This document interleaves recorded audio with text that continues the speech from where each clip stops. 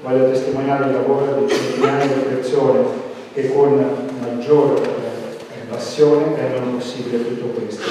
Grazie, davvero grazie a tutti premiati dirigenti, associazioni e atleti della provincia di Arezzo. È stata la Sala dei Grandi ad ospitare la cerimonia di consegna delle benemerenze CONI con particolare riferimento ai risultati del 2021. È un momento celebrativo ed è giusto che ci siano anche questi momenti, ovvero dare riconoscimento alle nostre eccellenze, agli sportivi più giovani, a quelli che hanno fatto la storia. Quindi in questa sala dei grandi della provincia che ormai ci ospita tradizionalmente ci ritroviamo una volta all'anno per celebrare questo momento. Premiati i dirigenti Giancarlo Chiappini e Walter Giorni rispettivamente con la stella d'argento e quella di bronzo. Stella di bronzo anche per l'associazione Compagnia del Pallone Grosso della Misericordia di Monte San Savino.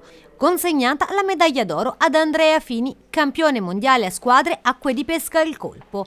Medaglia d'argento a Samuele Bernardini, terzo classificato al campionato mondiale enduro, Martina Bartolomei, seconda all'europeo schitta squadre, a Gabriele Benedetti, campione italiano su strada under 23 e a Andrea Conti, campione italiano di taekwondo.